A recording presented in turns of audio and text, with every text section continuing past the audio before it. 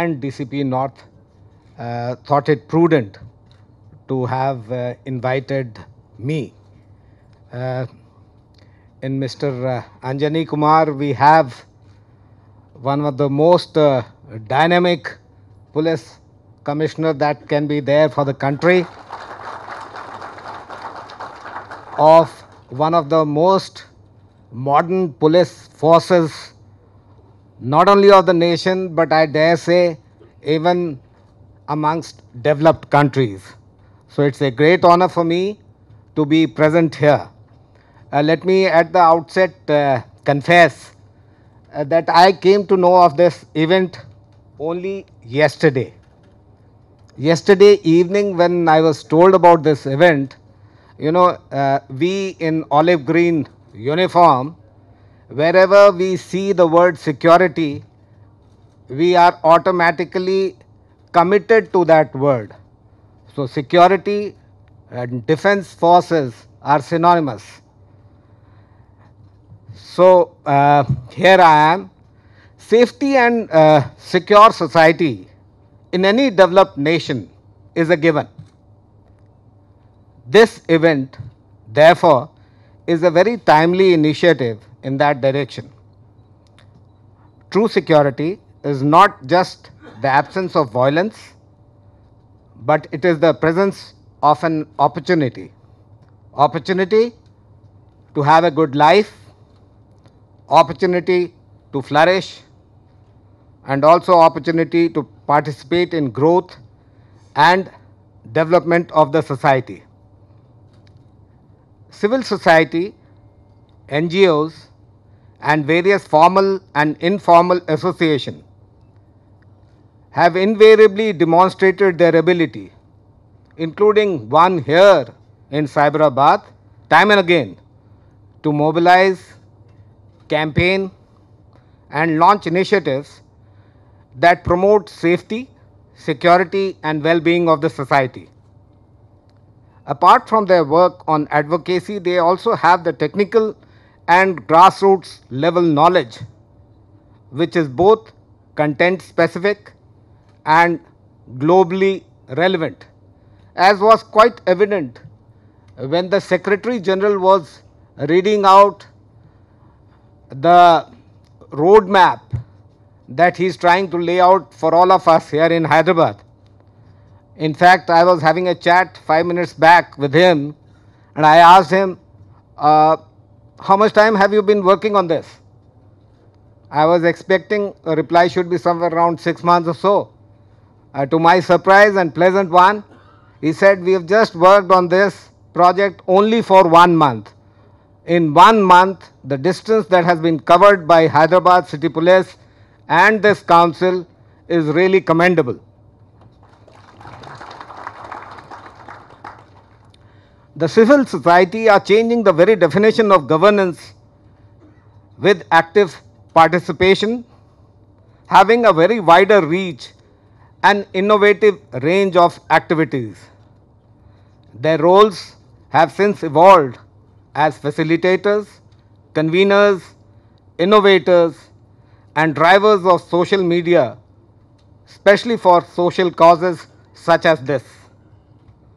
Civil society has now become increasingly innovative in their approach to solve societal challenges and actively assist and support local, national, and global governance, as, were, as was very aptly covered uh, by our own uh, Sri Anjani Kumar.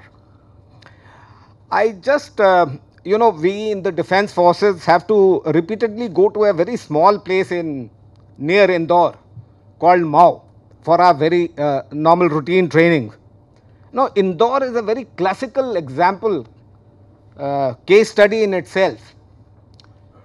We have been seeing Indore since 1980s and 1990s it was a dirty city, garbage filled, and nobody gave a damn about. I would like to add uh, uh, two things here.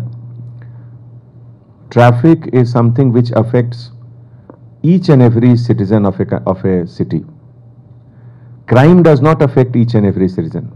Crime affects only where, suppose if there is a robbery, if a theft, only that family is affected or his relatives are affected or nearby people they get that feeling. But traffic is something where each and every person is affected. So it is, it should be given the topmost priority. And uh, about one month back, there was a all department meeting in which all the stakeholder holders they had met HMDA, GHMC, traffic police, all other stakeholders of the administration and honorable minister Mr. KTR Garu he had himself chaired the meeting. Now certain discussions which came in that I think I must share it with you. Right now Hyderabad city has about 400 kilometers of footpath, pavement, walking for pedestrian. Our plan is to make it to 700 kilometers within 6 to 8 months. And work is going on on that. Now, for every pro project, there will be some, in, in, some issues, some challenges, but collectively it will be done. And that would be a big way in support of what you are saying that how to improve it. All issue relating to road safety starts from, they say that 3E is important in that. The first E is education. First E is to have awareness, that is education.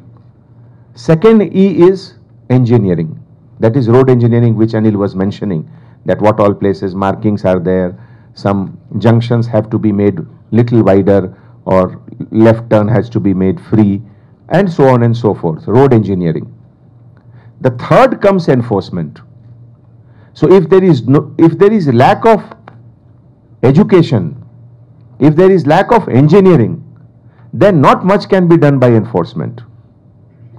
I will give you one small example. Every day we have about uh, how many cases of drunken driving we are having roughly? About 100 drunken driving cases we are having and about 400 triple triple riding cases are booked every day. Now you you imagine a city as big as Hyderabad with a population of 1 crore just to make people follow rule by issuing challan is not enough. That feeling has to come from inside first. Helmet should not be worn because there is a fine. Helmet should be worn because there should be a feeling inside that it is for my safety. Is it not? And that is why education awareness is more important. And that is why this forum is very important for us. Right now, we are going to colleges, we are going to the schools to create this awareness.